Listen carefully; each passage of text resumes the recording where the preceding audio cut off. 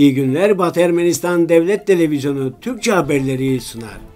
Bugün Sevr Antlaşması'nın Batı Ermenistan Cumhuriyeti tarafından onaylanmasının 5. yıl dönümü. Batı Ermenistan Cumhuriyeti Devlet Başkanı Armenak Abrahamyan'ın yeni internet sitesi. Ermeni Araştırmaları Kürsüsü'nün yeni başkanı Rene Levonyan. Uzay ışınlarının araştırmacısı, Ermeni biliminin meşalesi Artem Alikhanyan. Razminfo, Azerbaycan Nahçıvan'a bayraktarlar yerleştiriyor. Hollanda parlamentosu hükümeti Bakü'deki Avrupa Futbol Şampiyonası'na katılmamaya çağırıyor. Batı Ermenistan'ın cennet mekanı Dersim, Rabat Vadisi'ni ziyaret edin. Ermenistan Cumhuriyeti Devlet Oda Korosu Ravenna Festivali'ne katılacak.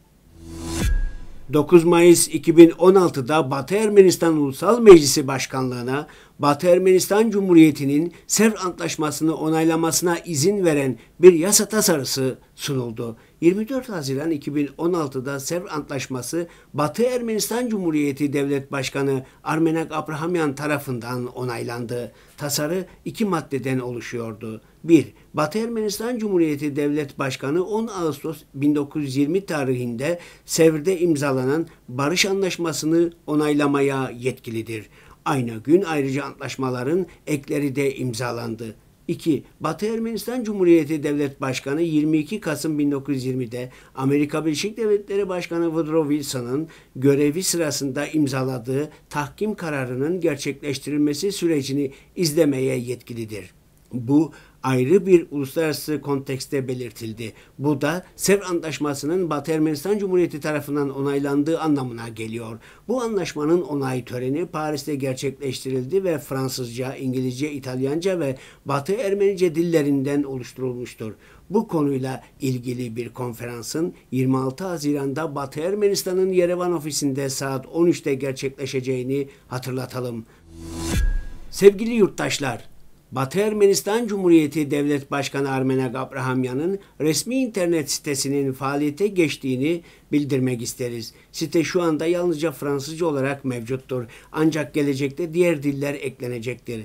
Web sitesinde başkanın çalışma ziyaretleri ve toplantılarının yayınları hakkında bilgi sahibi olabilirsiniz. Site aşağıdaki linkte mevcuttur.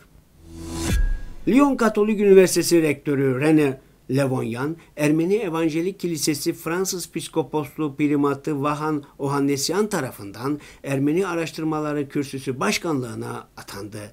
René Levonyan Marsilya'da doğdu. Fransa'daki Ermeni Evangelik Kilisesi'nin rahibidir. Evli, iki çocuğu ve altı torunu vardır.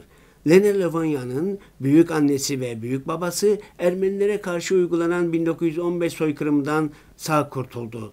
Söyleşinin tamamı web sitemizde yakında yer alacak. Artem Alihanyan 24 Haziran 1908'de Gürcistan'ın başkenti Tiflis'te dünyaya geldi. Okuldan mezun olduktan sonra kardeşi Abraham ile eğitimlerine devam etmek için St. Petersburg'a gittiler. Büyük abi üniversiteyi, küçüğü ise Politeknik Enstitüsü'nü kazandı. Üniversiteden mezun olduktan sonra kardeşler kristallerin, atom çekirdeğinin ve radyasyonun X ışınının yapısal çalışmalarıyla ilgilenmeye başladılar. Artem Alihanyan'ın ilk çalışmaları kristallerin fiziği, X ışınları ve elektron kırınımı ile ilgilidir. 1931'den beri radyoaktivite ve atom çekirdeğini araştırıyor. Artem Alihanyan elektronları ileten ilk yapay radyoaktif elementi silisyumu keşfetti.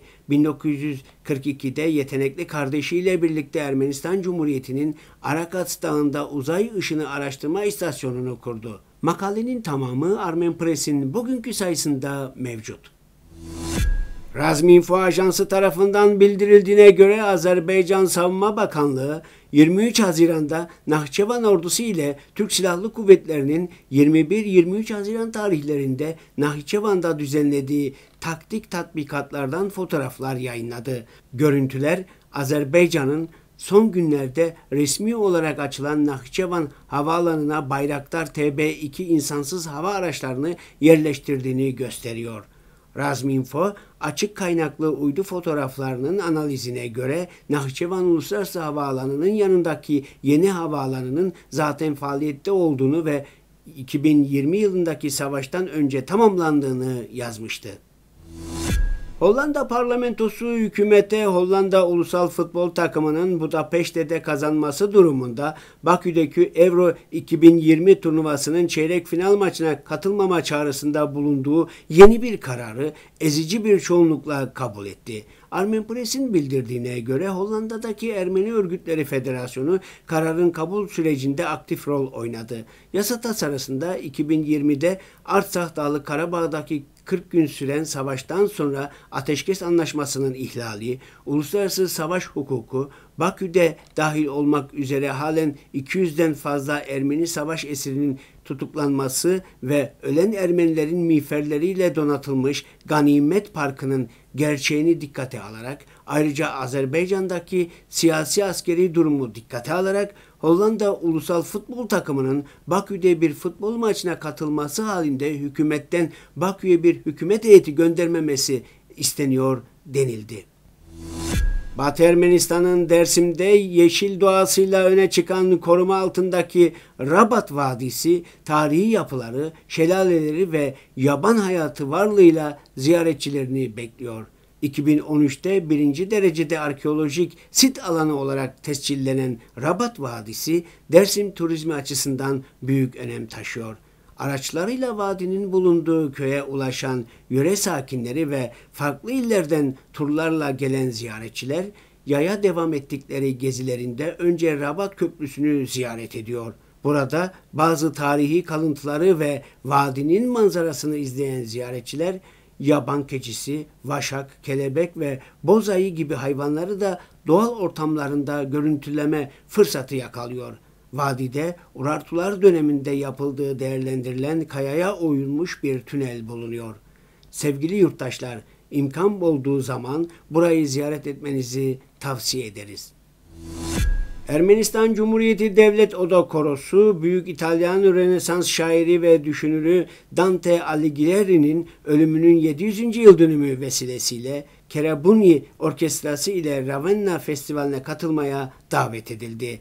Armen Press'in haberine göre Ravenna'daki konser dünyaca ünlü şef Riccardo Mutti yönetiminde 1 Temmuz'da gerçekleşecek. Söz konusu konser aynı toplulukla 4 Temmuz Yerevan Opera ve Balet Tiyatrosu'nda gerçekleşecek. Konser sırasında Haydn, Mozart, Schubert ve Mansuryan'ın eserleri seslendirilecek. Bugün için bu kadarını öngördük. Şimdi size Kantasar adlı topluluğun seslendirdiği Ermeni halk şarkısı Ceyrani adlı eseri sunuyoruz.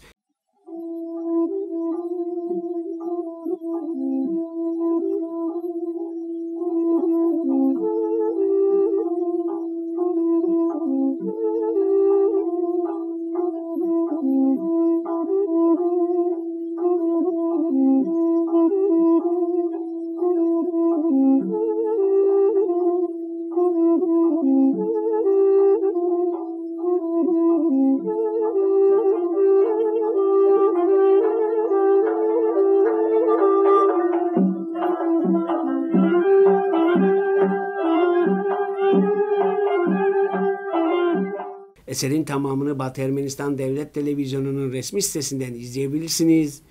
Hoşçakalın.